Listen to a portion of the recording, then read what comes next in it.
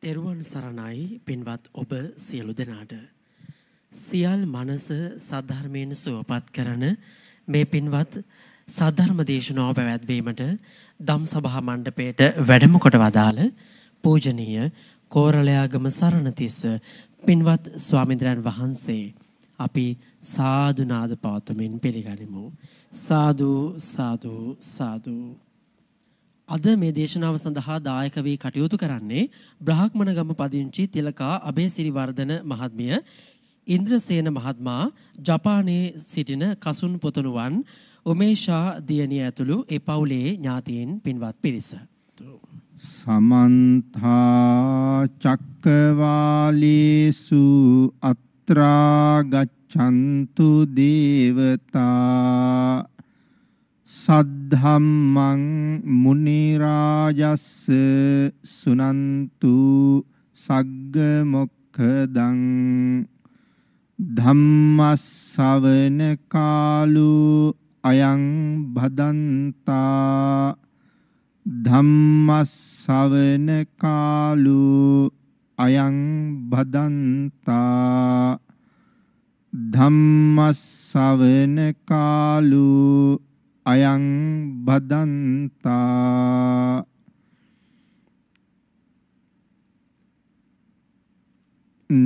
නමෝ තස්ස භගවතු අරහතු සබ්බ ධම්මේසු අප්පටිහත ඥානචාරස්ස। දස බලධරස්ස චතු වේසාරජ්‍ය විසරදස්ස। සබ්බ සත්තුත් උත්තමස්ස ධම්මිස්ස රස්ස ධම්ම රාජස්ස ධම්මස්සාමිස්ස තථාගතස්ස සබ්බඤුනෝ සම්මා සම්බුද්දස්ස. නමෝ තස්ස භගවතු අරහතු සබ්බ ධම්මේසු අප්පටිහත ඥානචාරස්ස.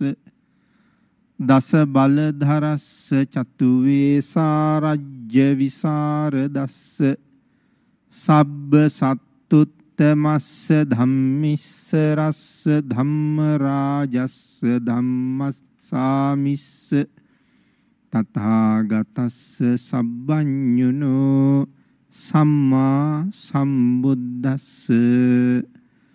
නමෝ තස්ස භගවතු අරහතු සබ්බ ධම්මේසු අප්පටිහත ඥානචාරස්ස දස බලධරස්ස චතු වේසාරජ්‍ය විසරදස්ස සබ්බ සත්තුත්තමස්ස ධම්මිස්ස රස්ස ධම්ම රාජස්ස ධම්මස්සාමිස්ස තථාගතස්ස සබ්බඤුනෝ සම්මා සම්බුද්දස්ස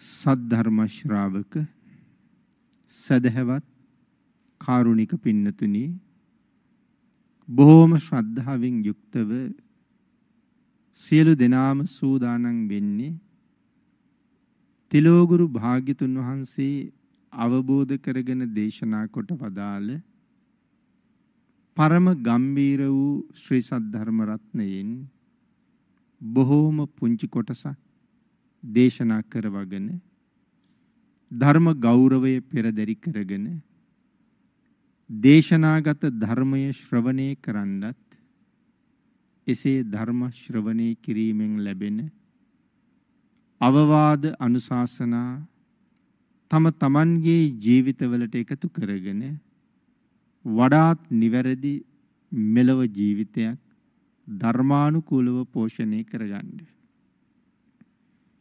ඒ විදිහට ධර්ම ශ්‍රවණය කරන සදැහැති ශ්‍රාවක පිරිසට භාග්‍යතුන් වහන්සේ අවවාද කළා මහත් වූ බලාපොරොත්තුවක් මුදුන්පත් කර ගැනීම සඳහාම ධර්ම ශ්‍රවණය කරන්න කියලා. ඒ බලාපොරොත්තුව තමයි මේ ධර්ම දේශනාව ශ්‍රවණය කරන අතරතුරදීම මාගේ පංච නීවරණ ධර්මයන් යටපත් වේවා. සප්ත බෝධ්‍යාංග ආදී ධර්මයන් වැඩි දියුණු වේවා මේ දේශනාව අතරතුරදීම මට උතුම් මාර්ගයක් ඵලයක් අවබෝධ වේවා කියන සිතින් යුක්තවම ධර්ම ශ්‍රවණය කරන්න කියලා. ඒ බලාපොරොත්තුව මුදුන්පත් කර ගැනීම සඳහාම අපි අදත් ධර්ම ශ්‍රවණය කරමු. පින්නතනේ දහම් මුතුවැල ධර්ම දේශනා මාලාවෙන් මේ දවස්වල අපි සාකච්ඡා කරන්න යෙදුනේ චුන්ද කියන සූත්‍ර දේශනාව. සාරිපුත්තයන් වහන්සේගේ මහා පරිනිර්වාණය පිළිබඳව කරුණු කියවෙන චුන්ද සූත්‍ර දේශනාව. චුන්ද සූත්‍ර දේශනාව ඇසුරු කරගෙන ධර්ම දේශනා විසි එකක් මේ වෙනකොට සිද්ධ කරලා නිමා කරන්න යෙදුණා. පිනතින අපි බලාපොරොත්තු වෙනවා මේ සදහැවත් ඔබේ දායකත්වයෙන් සිදු කරනු ලබන චුන්ද සූත්‍රයේ විසි දෙවැනි ධර්ම දේශනාවෙන් චුන්ද සූත්‍ර දේශනාව නිමා කරන්න.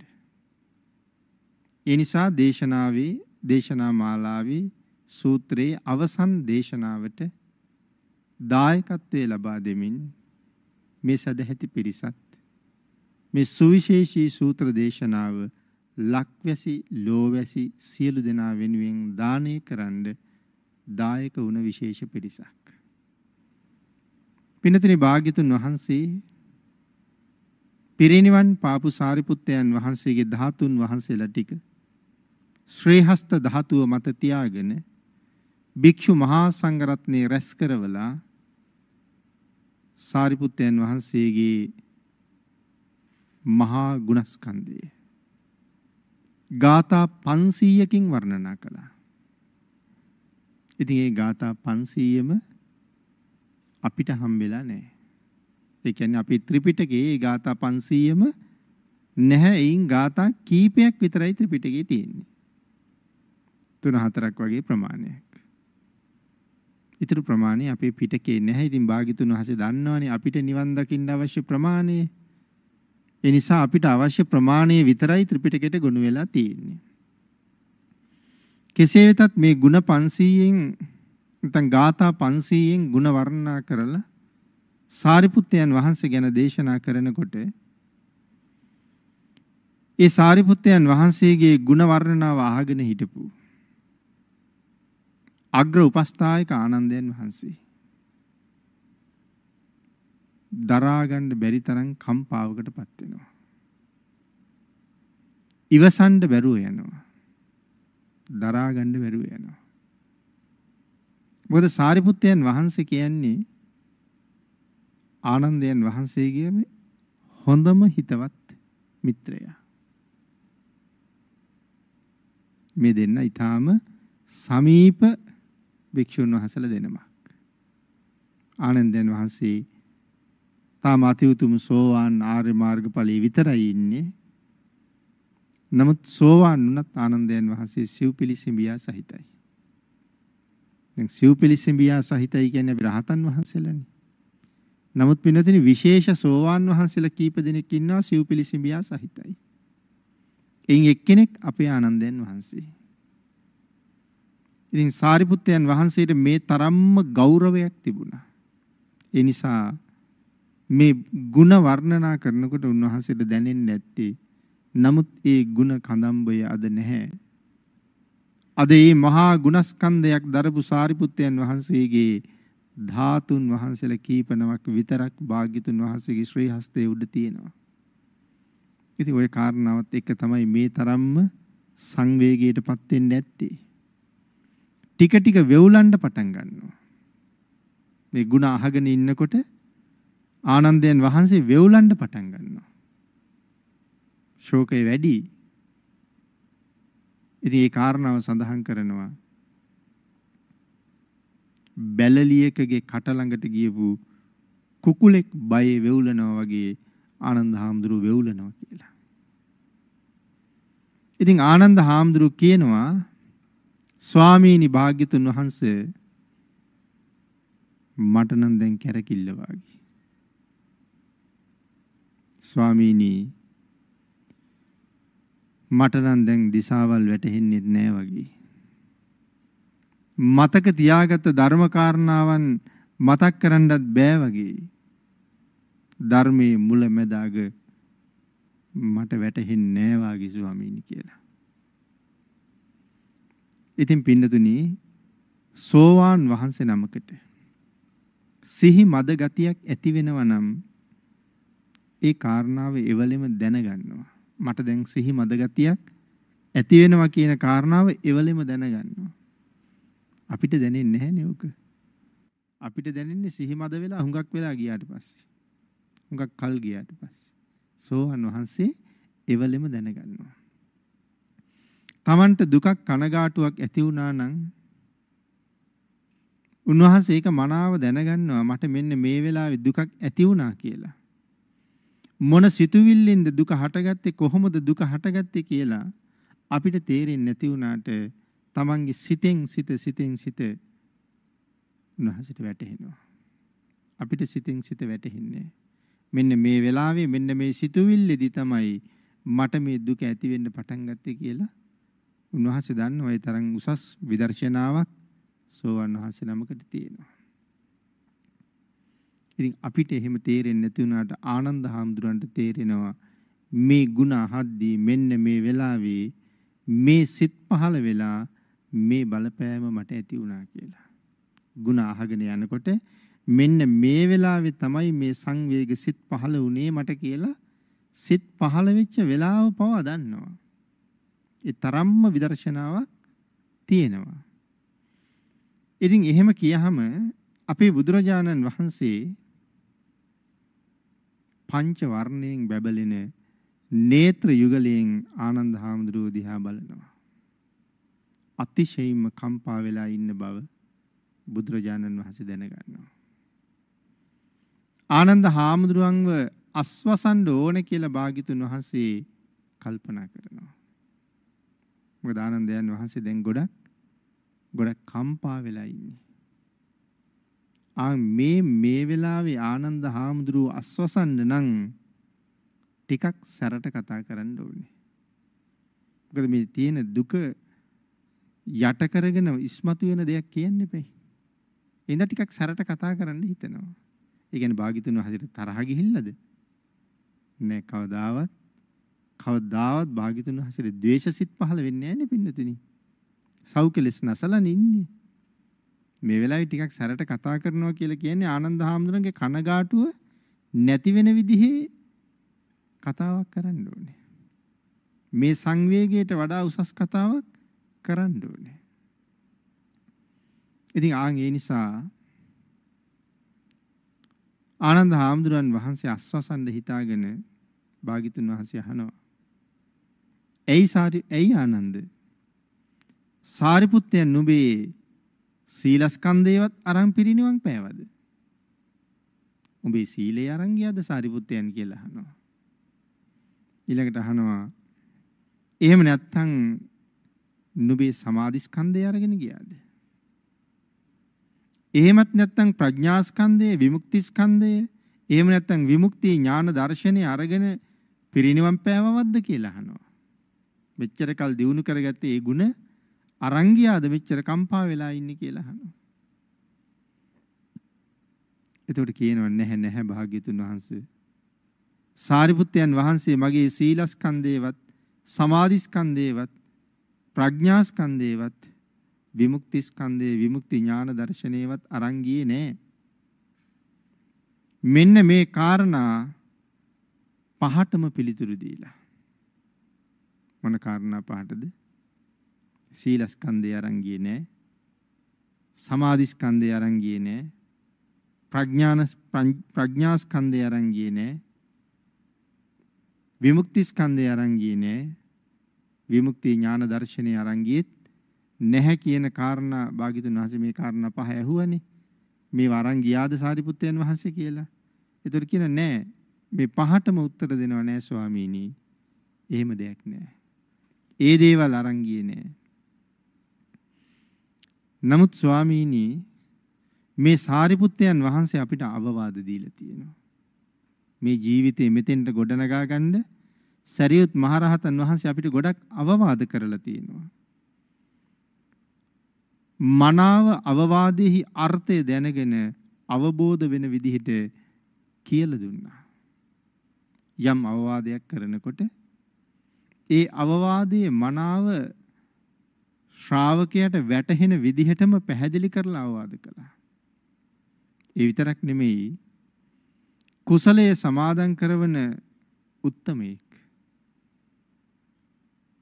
අන්‍ය සත්‍යයන් මනාව කුසලයට යොමු කරලා කුසලයේ සමාදන් කරවලා කුසල් මත පිහිටවන්න පුළුවන් ශ්‍රේෂ්ඨ උත්තමයෙක්. ඉතින් ඒ කාරණා ගැන පින්නතුනි තව තව සූත්‍ර වලින් වෙන වෙනම සාකච්ඡා කරන්න ඕන මේ මහා පුරුෂෝත්තම රතනය කොයිතරම් රතනයක්ද කියන කාරණාව වටහා ගන්න. මේ චුන්ද සූත්‍රයෙන් විතරක් සාරිපුත්තයන් වහන්සේගේ ගුණ කතා කරලා ඉවර කරන්න බෑ. සඳහන් කරනවා ඒ උනන්දු කිරීම කරද්දී අපට ඇති වෙන දුක නැති කරලා සතුට ඇති කරවන උත්තමයෙක්. කොයි වෙලාවෙවත් ධර්ම දේශනාවක් කරන්න බෑ කිව්වේ නැහැ. කොච්චර මහන්සි වෙලා හිටියත්. ස්වාමීනි ධර්ම දේශනාවක් කරන්න අපිට කියලා කිව්වොත් අනේ මට දැන් මහන්සි හෙට දිහාට කරමුද කියලා කවදාවත් අහන්නේ මොන තරම් මහන්සි තිබුණත් ඒ මහන්සිය අල්ප මාත්‍රයක් පෙන්වන්නේ නැතුව මහත් වූ ධර්ම ගෞරවයෙන් ලෝක සත්වයා පිළිබඳව මහා කල්යාණ මිත්‍රත්වයෙන් ඔවුන්ගේ හිතසුව පිණිසම තමන්ගේ වෙහෙස පසෙක තියලා දේශනා කරන්න පසුබට වෙන්නෙම නැහැ. ඒ තරම්ම ගුණයක් තිබුණා. සබ්‍රහ්මචාරීන් වහන්සේලාට අනුග්‍රහ කළා. ඉතින් ඒ සාරිපුත්තයන් වහන්සේගෙන් ලැබුණු ධර්ම ඕජාව ඒ මහා පුරුෂෝත්තමයන්න් වහන්සේගෙන් ලැබුණ සද්ධර්ම සාරය ඒ ධර්ම භෝගය ඒ අනුග්‍රහය අද නෑ කියලා මතක් වෙනකොට ස්වාමීනි මට දුක හිතුණා. දැන් ඒ අනුග්‍රහය නෑ නේද කියලා හිතුන හිතුන නිසා තමයි මට මේ தત્ත්වය ඇති වුණේ කියලා මේ දුකටපත් වෙන්න හේතුව කියනවා. සීලස්කන්ධේ සමාධිස්කන්ධේ ප්‍රඥාස්කන්ධේ විමුක්ති ස්කන්ධයේ විමුක්ති ඥාන දර්ශනය අරන් ගිහිල්ලා නැහැ. නමුත් මෙන්න මේ කරුණ මතක් වෙනකොට තමයි ස්වාමීනි මට දරා ගන්න බැරි තරම් දුකක් ඇති වුණේ කියලා කාරණාව පැහැදිලි කරනවා. ඊළඟට පින්නතුනි මෙතන භාග්‍යතුන් වහන්සේ අපි සඳහන් කළානේ පංච වර්ණයෙන් බැබලෙන නේත්‍ර යුගලයෙන් ආනන්ද හාමුදුරුවෝ දිහත් අනුකම්පාවෙන් බැලුවා කියලා. එතකොට මෙතන විස්තර කරනවා මේ භාග්‍යතුන් වහන්සේගේ නේත්‍ර යුගලය පංච වර්ණයෙන් බැබළුණා කියන්නේ ඇයි කියලා. භාග්‍යතුන් වහන්සේගේ නේත්‍ර යුගලේ වර්ණ පහක් තියෙනවා. ඉතින් වර්ණ පහ මොකක්ද කියලා මෙතනදී අපිට කියනවා. භාග්‍යතුන් වහන්සේගේ මේ නේත්‍ර යුගලේ අපි කියන්නේ ඇහි පිහාටු කියලා. අපි මේ ඇහි පිහාටු අතිශයින්ම තද නිල් පාටයි. ඊටාම තද නිල් පාටක් තමයි ඇහි පිල්ලම් වල තියෙන්නේ. මේක එක පාටක්. ඊළඟට ඇහැ කෙර ඇහැ කෙරවල එහි අගපැත්ත ඊටාම පිරිසිදු රතු පාටකින් යුක්තයි. දැන් ඒ රතු පාට අපේ ඇහි දකින්න දකින්න නෑ. ඇහැ කෙරවල ඊටාම පිරිසිදු රතු පාටකින් යුක්තයි. ඒ පිහාටු වල රන්වන් පාටකුත් තියෙනවා. අර නිල්වන් පාට එහි පිහාටු වල රන්වන් පාටකුත් තියෙනවා. ඇහි මැද අතිශයින්ම තද කළුයි. ඊටාම කාල වර්ණය එහි මැද. ඒ වගේම ඇහැ වටේට ඊටාම පිරිසිදුම සුදු පාටයි. ඉතින් මෙන්න මේ පාට පහ තමයි තියෙන්නේ. එහි පියාටු නිල්වන් පාටයි. ඒ වගේම රන්වන් පාටකිනුත් යුක්තයි. ඇහි කෙරවල ඊතා පිරිසිදු රතු පාටයි. ඇහැ මැද කළු පාටයි. ඇහැ වටේට අතිශයින්ම පිරිසිදු සුදු පාටයි. පංච වර්ණයෙන් බැබළුණා කියලා කියන්නේ මෙන්න මේ පාට පහෙන් භාග්‍යතුන් වහන්සේගේ netu සංගල හැම වෙලාවෙම දීප්තිමත්. අනන්ත ජීවිතවල කරුණාවෙන් අනුන් දිහා බලපු නිසා මේ තරම් ලස්සන ඇස් දෙකක් ලැබෙන්නේ සංසාරේ මොනව කරපු නිසාද? අනන්ත ජීවිතවල මහ කරුණාවෙන් ලෝක සත්‍යය දිහා බලලා තියෙනවා. අපි සමහරුන් දිහා කරුණාවෙන් බලනවා සමහරු දිසා වෛරයෙන් බලනවනේ. නමුත් සංසාරේ පාරමිතා පුරන කාලේ බොහෝ කාලයක් කිසි කෙනෙක් දිහා වෛරී හැඟීමක් නැහැ. දේශ සහගත බවක් නැහැ. තමන්ගේ හතුරටත් මෛත්‍රී ගුණේම තමයි පෙන්වන්නේ. කරුණා ගුණේම තමයි පෙන්වන්නේ. ඒ සමහර අය නිතරම ඇස් රතු කරගෙන ඉන්නේ. ඒ කියන්නේ ද්වේෂයෙන් තමයි ඉන්නේ. ඉන්නතර ඉතින් ඊළඟ ආත්මවල උපදින කොටත් ද්වේෂය කොහොමත් නිරේට යන්න තියෙන අකුසල කර්ම වලින් එකක්. ලෝභ දේශ මොහ කියන්නේ ප්‍රධාන අකුසල කර්මනේ. ඉතින් නිරේවල් වල දුක් විඳින තැන්වල පැහිලා පැහිලා පැහිලා ආයේ මනුස්ස ලෝකෙක ආවත් හරි ලස්සන ප්‍රියමනාප ඇස් දෙකක් නැහැ කියලා කියනවා. දේශ කරපු අය. ඉතින් මෛත්‍රී කරුණා ගුණ පිරිච්ච අයගේ තමයි ලස්සන ඇස් පිහිටලා තියෙනවා කියලා කියන්නේ. එතකොට එක ජීවිතයක ಗುಣ පුරනකොට ජීවිත කෝටි ගණන් ලස්සන වෙනවා. සුවපත් වෙනවා. නමුත් ඉතින් අපි අකමැතිම ಗುಣ පුරන්නේ. ඉතින් ආපහු ප්‍රඥාවන්තයෝ ඒ පිළිබඳව සිත යොමු කරලා තමන්ට සාධාරණයක් කරගන්න කටයුතු කරත්වා කියලා ආශිර්වාද කරනවා. පින්නතින අන්න ඒ netu සංගලින් බලන බැල්මෙන්ම බොහෝ දෙනාගේ හිත නිමෙනවා. භාග්‍යතුන් වහන්සේ බලන බැල්මෙන්ම බය නෙමෙයි ඇති වෙන්නේ. මේ ගිනි අරන් තියෙන හිත්. රාගයෙන් ද්වේෂයෙන් මෝහයෙන් දැවෙන හිත්. නිමෙනවා භාග්‍යතුන් වහන්සේගේ බැල්මෙන්ම. ඒ බැල්ම තුල ඒ තරම්ම කරුණාවක් තියෙන ඕනෑම පුද්ගලයෙක් দমনය කරන්න පුළුවන්. ශ්‍රද්ධාවන්තයෝ ඒ බැල්මටම দমনය වෙනවා. ආන් එවන් නේත්‍ර යුගලයෙන් බලලා යමක් දේශනා කරාම අසන්නාට මහා සහනයක් ලැබෙනවා කියලා සඳහන් කරනවා. කරුණාව පිරිච්ච ඇහෙන් බලලා යමක් දේශනා කරාම ඒ දේශනාව අහන කෙනාට මහ පුදුමාකාර සහනයක් තමයි ලැබෙන්න පටන් ගන්න. ඊළඟට සඳහන් කරනවා සීලස්කන්ධය කියලා කියන්නේ ලෞකික සහ ලෝකෝත්තර සීලයන්. දැන් අහනවනේ ආනන්ද සාරිපුත්තයන් නුඹේ සීලස්කන්ධයවත් අරන් ගියාද කියලා. මෙච්චර දුක් වෙන්නේ ඉතින් ඒතර සීලස්කන්ධය කියහම ලෞකික සහ ලෝකෝත්තර කියලා සීලේ ආකාර දෙකක් තියෙනවා. සමාධියත් ලෞකික සහ ලෝකෝත්තර කියලා ආකාර දෙකක් තියෙනවා. ප්‍රඥාවත් එහෙමයි පින්නතුනි. විමුක්තිය කියලා කියන්නේ මොකේටද? නිවනට. විමුක්තිය කියලා කියන්නේ නිවනට. ධර්ම දේශනාවක් කරන්න කීවොත් කවදාවත් වෙහෙස බවක් සඳහන් කළේ නෑ සාරිපුත්තයන් වහන්සේ කියන කාරණාව පැහැදිලි කරමින් සබ්‍රහ්මචාරීන්ට අනුග්‍රහ කරනවා කියලා කිව්වේ ලෞකික සහ ලෝකෝත්තර කියන ආකාර දෙකෙන්ම අනුග්‍රහ කරනවා. තමන්ගේ යට යටතේ ඉන්න අයට තමන්ට වඩා පහළ භික්ෂුන් වහන්සේලාට අනුග්‍රහ කරනකොට සඳහන් කරනවා ලෞකික සහ ලෝකෝත්තර කියන ආකාර දෙකෙන්ම සැරියුත් මහරහතන් වහන්සේ අනුග්‍රහ කරනවා. ධර්මයෙන් සංග්‍රහ කරනවා කියලා කියන්නේ පැවිදි ජීවිතය. නිවැරදිව ගත කරන්නේ කොහොමද? හැබැයි පැවිද්දෙක් වෙන්නේ කොහොමද? ශාසනය දියුණු කරන්න පුළුවන් පැවිද්දෙක් වෙන්නේ කොහොමද? මේ පැවිද්ද තමන්ගේ නිවන උදෙසා යොමු කරගන්නේ කොහොමද? හරියටම පැවිද්දෙක් පැවිද්ද පරිස්සම් කරගන්නේ කොහොමද? ආන්ගේ කරුණු මහ පුදුම අනුකම්පාවෙන් කියලා දෙනවා. පැවිද්ද පරිස්සම් කරගන්න එපෙයි. පැවිද්ද බොහොම ඉක්මනට නැති වෙනවා. විනාශ වෙලා යනවා.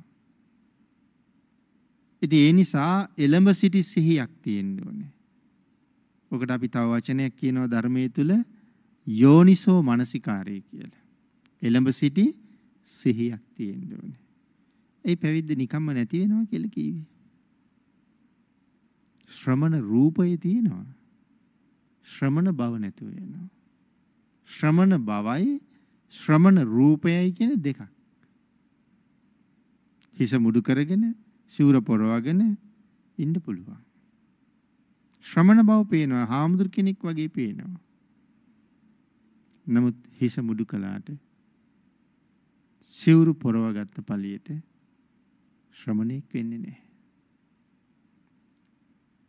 හැබැයි පිරිහිලාද නැද්ද කියලා දන්නේ ඒ පුජ්‍යල තමයි. අපිට කියන්න පුළුවන් දුස්සීලය කියලා.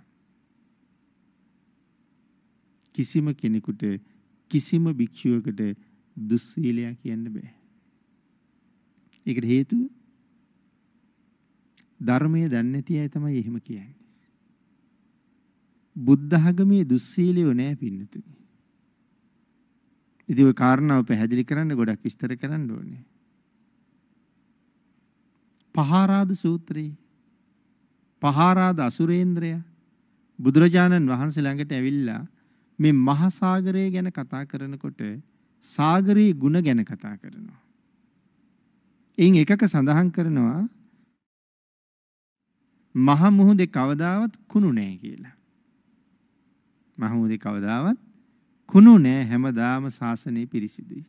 ශාසනය නෙමෙයි සාගරය පිරිසිදුයි. ඇයි මහ මුහුදේ කුණු නැහැ කිව්වේ? මේ අසුරේන්ද්‍රය සඳහන් කරනවා පින්නතනේ මිනිහෙක් මරලා මුහුදට ගෙනහිල්ලා දැම්මත් මාළු විසින් කාලා ඉවර කළේ නැත්තම් මොකද වෙන්නේ? ඈතට ගෙනහිල්ලා දැම්මොත් දවස් දෙකක් තුනක් යනකොට ඒ මල කඳ ගෙනල්ලා ගොඩටම දානවා. මහ විශාල මාළුවෙක් සාගරයේ මැරුණොත්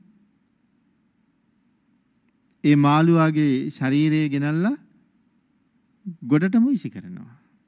ඒක පුදුම පුදුම ලක්ෂණය.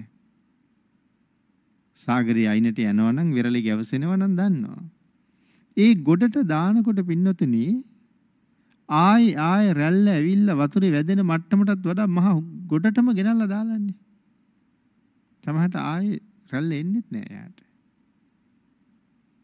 ඉතින් ඔය නැව් පෙරලිලා නොඑක් දේවල් වෙලා ඔය හැලෙන දේවල් මේ ටින් එකේ බැරැල් එකේ ඔය ඕදි හැම එකේම ඔය සේරම ගෙනල්ලා ගෙනල්ලා පාවෙන ඒවා ගොඩටම දාලා යනවන්නේ. ඒ කියන්නේ මුකුත් තියාගන්නේ නැහැ සාගරේ. හැම වෙලාවෙම පිරිසිදුයි. අන්න ඒ කාරණාවට භාග්‍යතුන් වහන්සේත් උත්තරයක් දෙනවා. මගේ ශාසනෙත් පහරාද එහෙම්මම තමයි කියලා. මේ ශාසනෙත් කුණු නෑ. මේ ශාසනය හැමදාම පවිත්‍රයි. නිර්මල ශාසනය කුණු නෑ කියලා. එතර දුස්සීල භික්ෂුව කියලා කියන්නේ කාටද?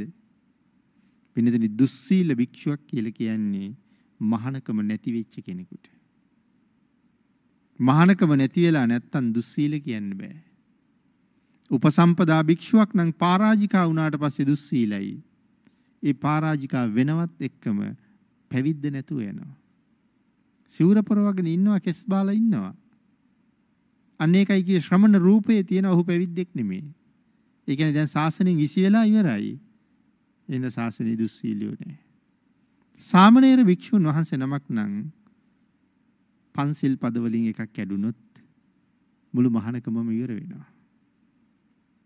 බොරු කියන්නේ පන්සිල් කඩන්න බෑ. ඉතින් කැඩිච්ච ගමන්ම ශාසනයෙන් විසි වෙනවා. එතකොට ආන් එවන් අයට තමයි දුස්සීල කියන්නේ. දැන් දුස්සීලියව සාසනේ නෑ. දුසිල් වෙනවත් එක්කම සාසනෙන් එළියි. ඒ හින්දා සාසනේ දුස්සීලියව නෑ. එහෙනම් දුස්සීල භික්ෂූන් කියලා જાතියක් නෑ කියලා කිව්වේ ඒකයි. මොකද දුස්සීල වෙනවත් එක්කම භික්ෂු නෙමෙයි. ගිහි වෙනවා. ඒකයි දුස්සීල භික්ෂූන් කියලා જાතියක් නැත්තේ. අලජ්ජි භික්ෂූන් කියලා જાතියක් ඉන්නවා. දුස්සීල භික්ෂූන් කියලා જાතියක් නැහැ.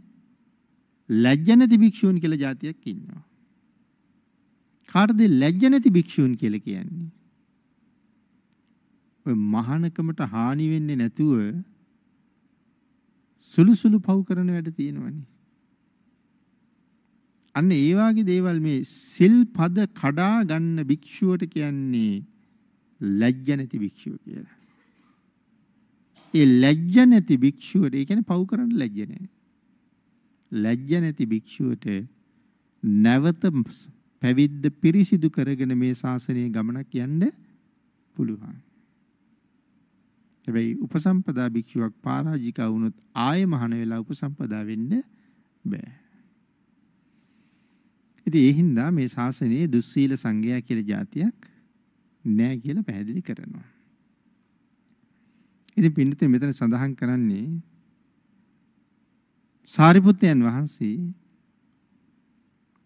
ආනන්දයන් වහන්සේගේ මේ සීල සමාධි ප්‍රඥා විමුක්ති විමුක්ති ඥාන දර්ශන ආදී ගුණයන් මොකවත් ගෙනහිල්ල නැහැ. නමුත් ඒ ශ්‍රේෂ්ඨ භික්ෂුව දැන් අපි අතර නැහැ. ඒ හින්දායි දුක. විශේෂයෙන් සඳහන් කරනවා සාරිපුත්තයන් වහන්සේ ධර්මයෙන් අනුග්‍රහ කරනවා කියන කියනකොට භික්ෂූන් වහන්සේලාට සීලයෙන් අනුග්‍රහ කරනවා? ධර්මයෙන් අනුග්‍රහ කරනවා? පැවිදි ජීවිතය ගැන දැනගත යුතු කාරණා ඔක්කොම කියලා දීලා මේ පැවිද්ද රැකගෙන ශාසනයේ ඉන්නේ කොහොමද? නිවනට මඟ හදාගන්නේ කොහොමද? සතර අපායට පිටුපාන්නේ කොහොමද? සුගතියෙන් සැනසෙන්නේ කොහොමද? මේ හැම පැත්තටම මඟ කියනවා. කවදාවත් පාපයට උනන්දු කරන්නේ මහා කල්යාණ මිත්‍රයෙක් මිසක් පාප මිත්‍රයෙක් නම් නෙමෙයි අනුග්ගාහකෝ සබ්‍රහ්මචාරී නම් කියන්නේ සබ්‍රහ්මචාරීන් වහන්සේලාට නොඑක් ආකාරයෙන් අනුග්‍රහ කරනවා මේ මහ භික්ෂුව. භාග්‍යතුන් වහන්සේ ආනන්ද හාමුදුරන්ගෙන් අහනවා ආනන්ද මම කලින්ම කීවේ නැද්ද මේ කාරණාව? මොකද්ද මේ? සබ්බේහි පියේහි මනාපේහි මොනවද පින්නතුනි මේ කියන්නේ? මේක ගැඹුරු ධර්ම කාරණාවක්. යම් ප්‍රියමනාප දෙයක් තියෙනවා නම් ඒ සියල්ල වෙනස් වෙන සුළුයි. ප්‍රියමනාප හැම දෙයක්ම වෙනස් වෙන සුළුයි සබ්බේහි මේ පියේහි මනාපේහි සඳහන් කරනවා වෙන ස්වභාවයකට පෙරලෙන සුළුයි. ප්‍රියමනාප දේවල් වෙනස් වෙනවා. මනාප දේවල් වෙනස් වෙනවා. මේ ලෝකේ මොනවද වෙනස් වෙන්නේ නැත්තේ? විනතර වෙනස් වෙන්නේ නැත්තේ නිවන විතරයි. අනික හැම දෙයක්ම වෙනස් වෙනවා. ඉතින් ඒ නිසා මිනිස්සුත් වෙනස් වෙනවා. ගහකොළත් වෙනස් වෙනවා. සතා සිව්පාවත් වෙනස් වෙනවා. අපි කැමති නැද්ද? අපි වැඩි හිටියෝ කැමති නැද්ද? පාසල් ගියපු කාලෙට. විශ්වවිද්‍යාලේ හිටපු කාලෙට. අවුරුදු 20 25 කාලෙට කැමති නැද්ද? කැමති වුණාට දැන් ආයේ කාලෙට යන්න පුළුවන්ද? වෙනස් වෙලා. ආයේ යන්න බෑ. මේ ඉන්න මොහොතේ දැන් මෙතන වාඩි වෙච්ච කවුරුවත් මෙතන ඉන්නවද? වාඩි වෙච්ච අය කවුරුවත් මෙතන මෙතන නෑ පින්නතුනි. දැන් ඉන්නේ ඊට වඩා වෙනස් වෙච්ච කට්ටියක්. ඒ වුණාට වෙනස් වෙච්ච බව පේනවද? gederin ආපු කට්ටියම නෙමේද ඉන්නේ? අපිට පේන්නේ කට්ටියම තමයි. නමුත් මිනිසෙක් අහලා තියෙනවද මොහොතක් මොහොතක් ගානේ මැරෙනවා කියලා? ඒකට කියන්නේ ෂණික මරණ කියලා. අපේ සිතුවිලි තත්පරයකට කෝටි ප්‍රකෝටි ගාණක් සිත් උපදිනවා. තත්පරයකට කෝටි ප්‍රකෝටි ගාණක් සිත් උපදිනවා. අපිව වෙනස් වෙනවා. නමුත් මොනතරම් වේගෙන් ඒ වෙනස සිද්ධ වෙනවද? ඒ රූප කලාප එතනම එතනම හට ගන්නවා. ඒ ඒ වගේමයි හටගන්නේ. ඊට වඩා චුට්ටක් වෙනස් වෙලා හටගන්නේ. සිවුම් වෙනසක් නිසා පේන්නේ. අත ඔසවලා පාත් කරනකොට ඔසවපු අත නෙමේ පාත් වෙන්නේ. මොහොතක් මොහොතක් ගන්න වෙනස් වෙවි පාත් වෙන්නේ. හැබැයි අපිට පේන්නේ පේන්නේ නැහැ ඒ තරම් වේගෙන් සිද්ධ වෙන නිසා.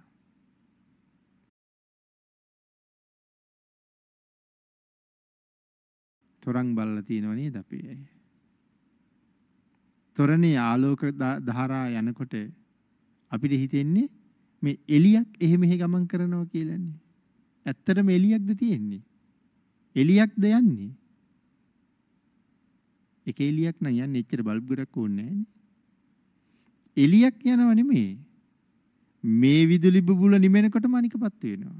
ඒක නිමෙනකොටම අනිකපත් වෙනවා. ඒක ඒ තරම් වේගෙන් සිද්ධ වෙන නිසා අපිට පේන්නේ එලියක් එහෙ මෙහෙ කැරකෙනවා වගේ. නමුත් ඒක එලියක් නෙමෙයි යන්නේ. නිල් පාට විදුලි බුබුලුම පත්තු වෙනවා නම් නිල් පාට එලියක් යනවා වගේ පේනවා. බැරි වෙලාවත් හදිසියේ මැද්ද රතු පාට එකක් පත්තු වුණොත් තමයි ටක් ගාලා වෙනස පේන්නේ. අන්න ඒ වගේ හදිසියේ වෙනස් වුණොත් තැනක අන්න එතන වෙනසක් පේනවා. එහෙනම් ඊටාම වේගෙන් සත්වයා මැරිලා උපදිනවා.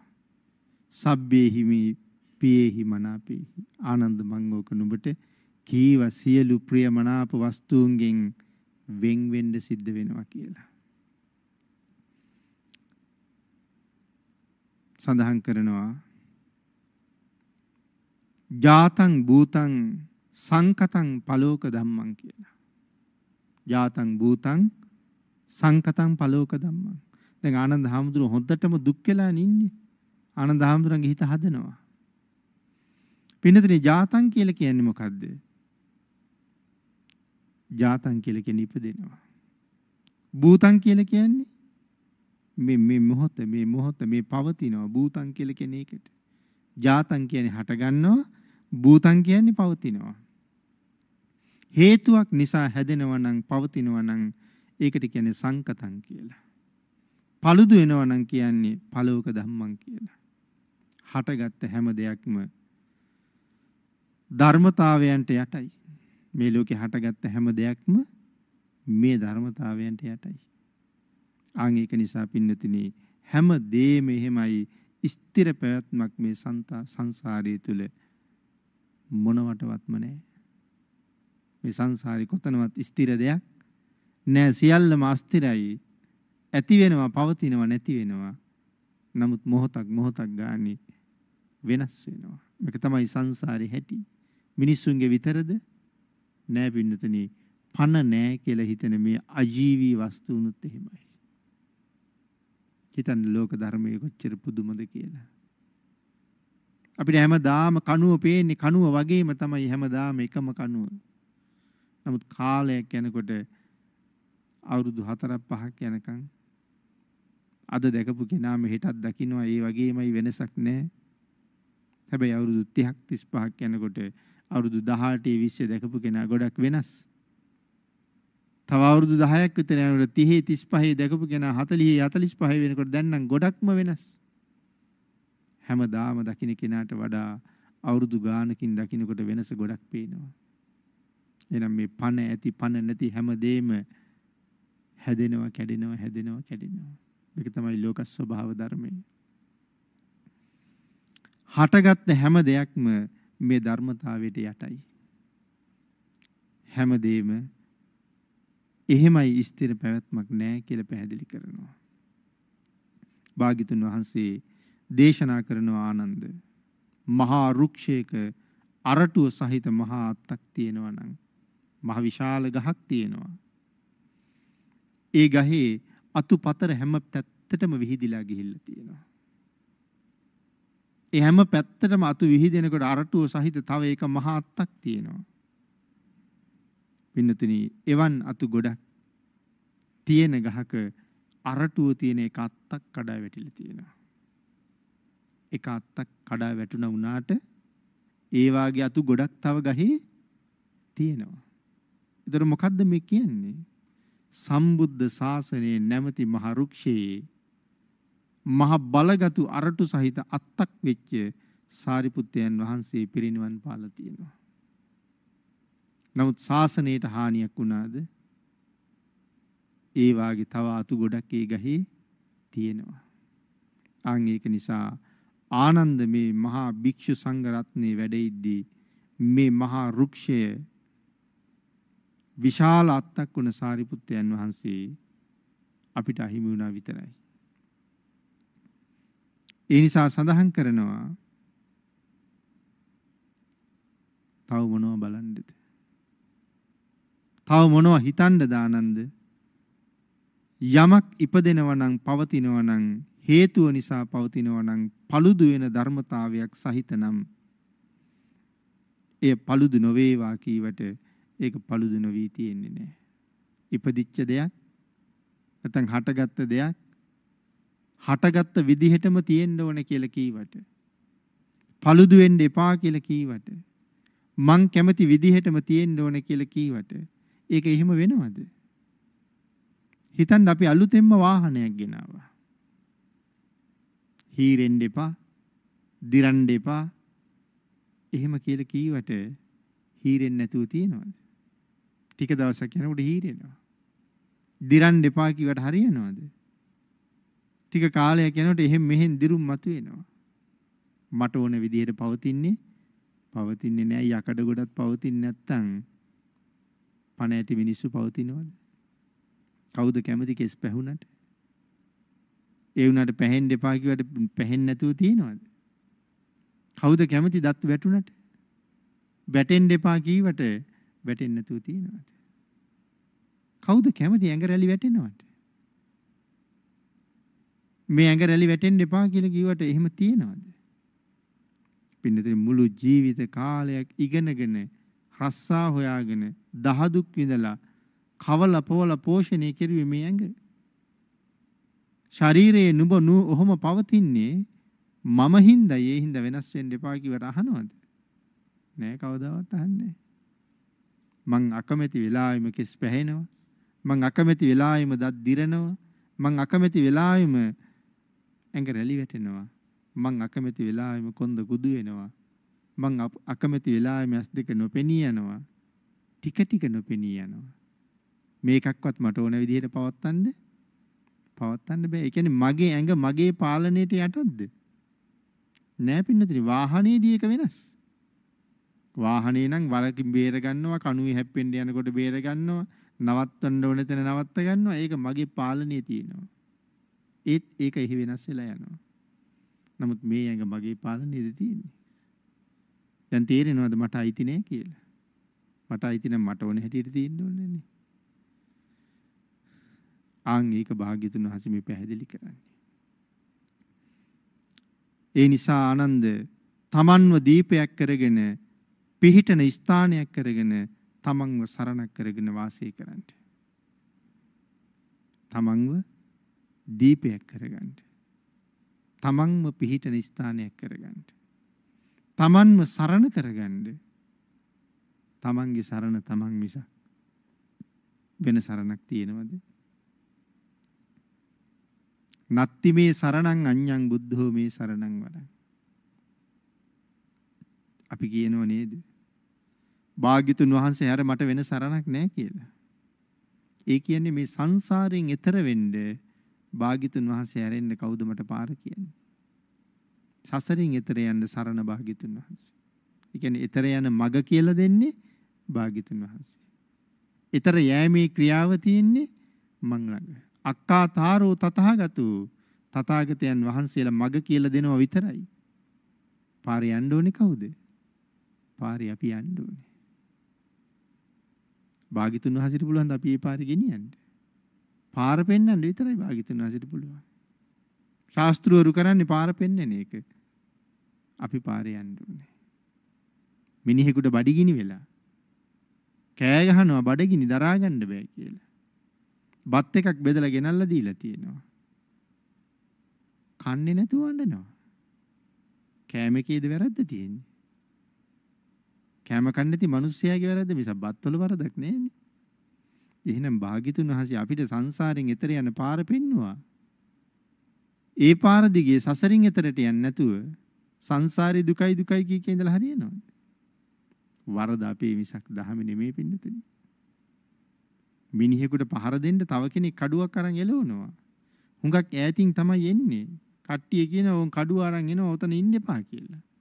කියන දේ අහන්නේ මම බේරගන්නෝ බේරගන්නෝ කියලා එතනම ඉන්නවා. කඩුවෙන් ගහනකම්ම ඉන්නවා. ඇති තරම් දුවන්න කාලෙත් තිබ්බ පාරක් තිබ්බා. වරද කාගේද? දුවල බේරිච්ච නැති පුජ්‍යලයාගේ වැරද්ද. මහා කල්ප අසංඛ්‍ය 4 ලක්ෂ එකක් දුක් විඳලා ලෞතුරා බුදු බව ලබාගෙන සංසාරේ ස්වභාවයේ තේරුම් අරගෙන මේ ලෝක ස්වභාවය අවබෝධ කරලා අපිට දේශනා කළා මේකටයි සසර කියන්නේ. ඒ සසර මහ භයානකයි කියලා. ඉතින් කියලා දුන්නට කෝ ක්‍රියාත්මක වෙනවා. කෝ යෙදෙනවා. කෝ වැඩ කරනවා. පුදුම අකීකරු જાතියක් අපි. ළමයින්ට බයිනවා මව්පියෝ මේ ළමයි හරි අකීකරුයි කියලා.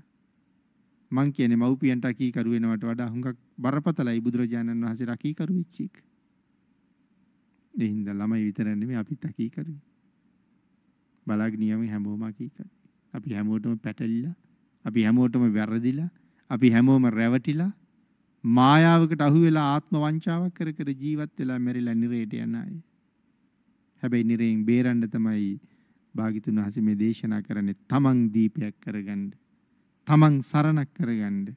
ධර්මයේ පිහිටන්න පිහිටන ස්ථානයක් බවට පත් කරගන්න. තමන් සරණක් වෙන්න කියලා. සතුට තියෙනවද ජීවිතේ අපිට? හිතලා බලන්න සතුට තියෙනවද කියලා. අපි ළඟ සතුට නෑ. අපි ගාව තියෙන නිකන් අර පත්තු වෙලා නිමෙන සතුටක්. එනවා යනවා.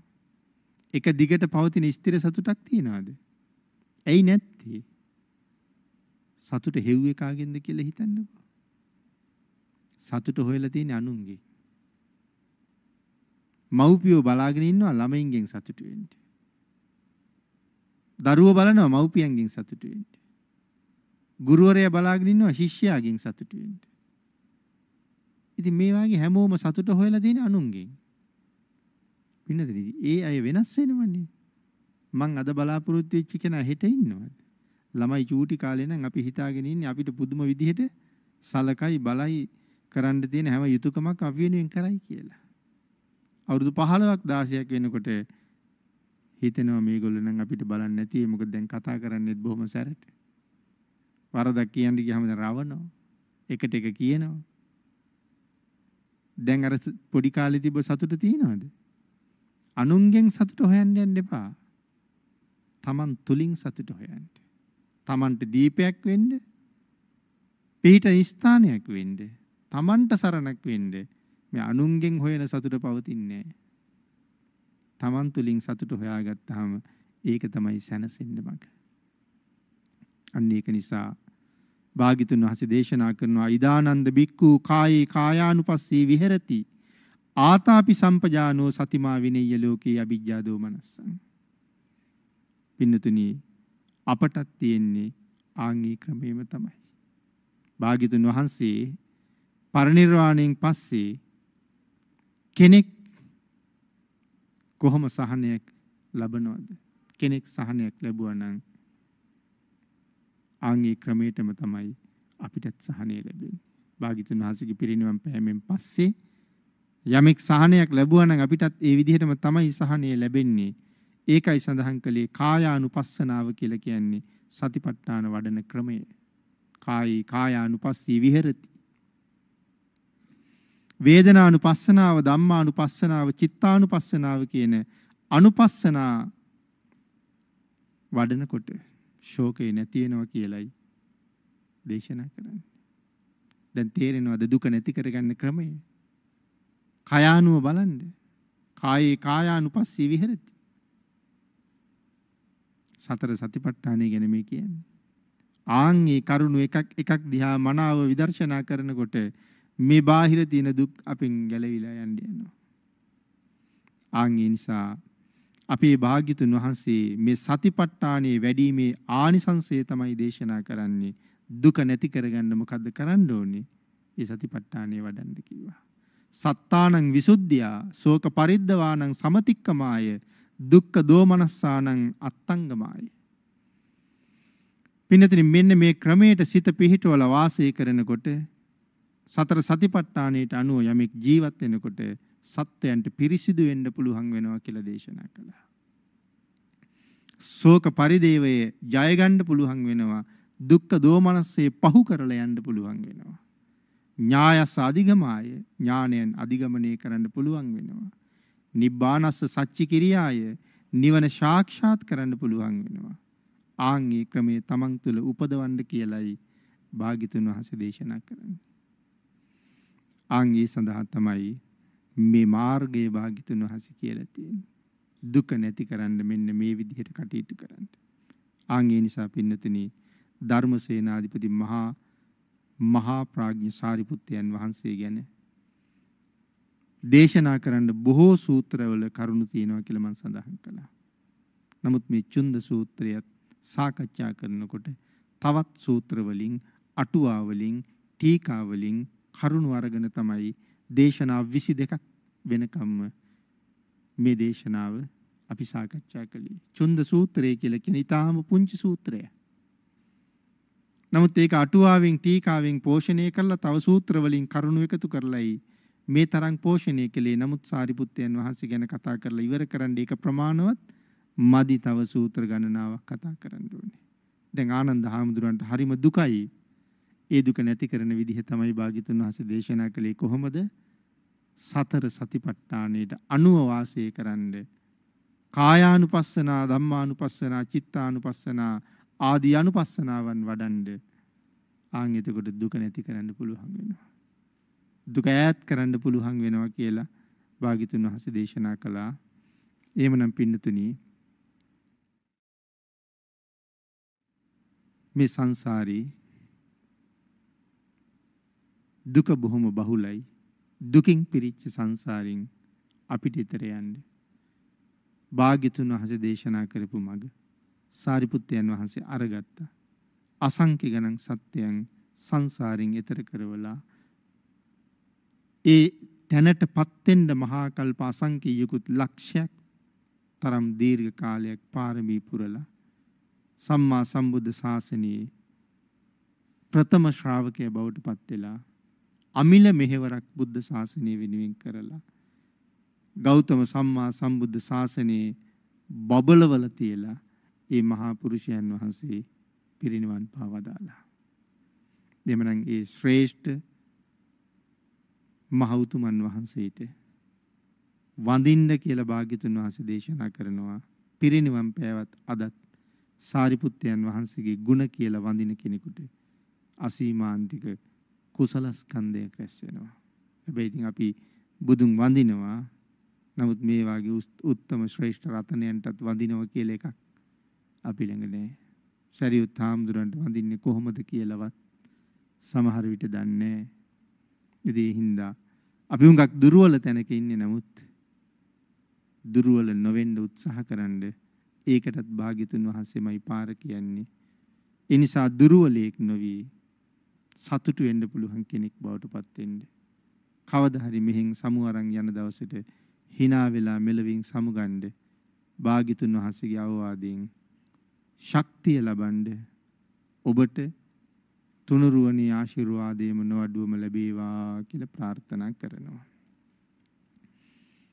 සංයුක්ත නිකායේ සඳහන් වෙන උතුම් වූ චුන්ද සූත්‍ර දේශනාවත් අදින් මේ විදිහට අපි නිමා කරනවා මේ උතුම් සූත්‍ර දේශනාව දේශනා 22ක් තුලින් නිමා කරන්න දායකත්වයේ ලැබලා දුන්න සියලුම දායක කාරකාදීන්ට සූත්‍ර දේශනාව අවසානයේ රැස් කරගත්ත සියලුම පුණ්‍ය ධර්මයන් අනුමෝදන් වේවා කියලා අපි පුණ්‍ය අනුමෝදනා කරමු. ඒ වගේම අද අවසාන ධර්ම දේශනාවේ දායකත්වයේ දරන්නේ බ්‍රාහ්මණගම පදිංචි තිලකා අබේසිරිවර්ධන මහත්මිය ඉන්ද්‍රසේන මහත්මයා ජපානයේ සිටින කසුන් පුතණුවන් උමේෂා දියණිය ඇතුළු පවුලේ ඥාතීන් මේ පිරිස තමයි දේශනාවේ දායකත්වයේ දරන්නේ උතුම් අරමුණ සෑම් අබේසිරිවර්ධන පියාණන් ගුණවතී අබේසිරිවර්ධන මෑණියන් ඩාවින් සිඤ්ඤෝ පියාණන් දුසිහාමී මෑණියන් ඇතුළු මියගිය සියලු ඥාතීන්ට මේ පින් අනුමෝදන් වේවා. ජපානයේ සිටින කසුන් උමේෂා චතුර දේවිකා අසිරු තිනුකි යන දූපුතුන් හා නිපුණි දිලුනි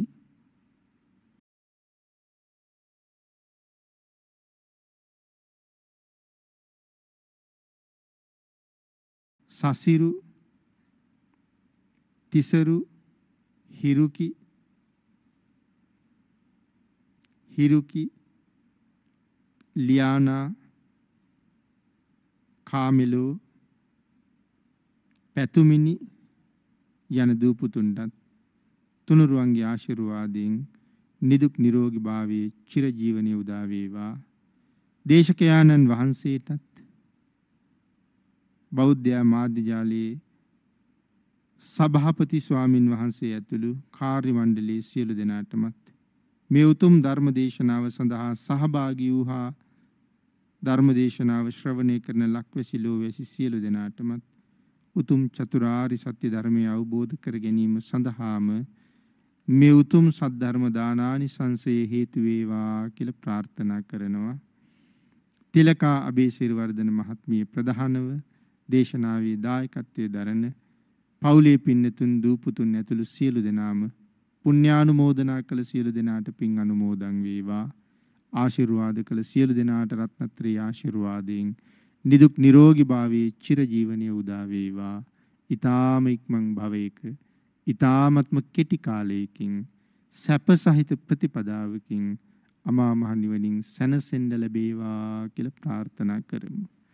ආකාසට්ඨා ච බුම්මට්ඨා දේවා නාග මහිද්దికා පුඤ්ඤන්තං අනුමෝදිත්වා චිරං රක්කන්තු ලෝක සාසනං දේවෝ වස්සතු කාලේන සස්්‍ය සම්පatti හෝතු ච.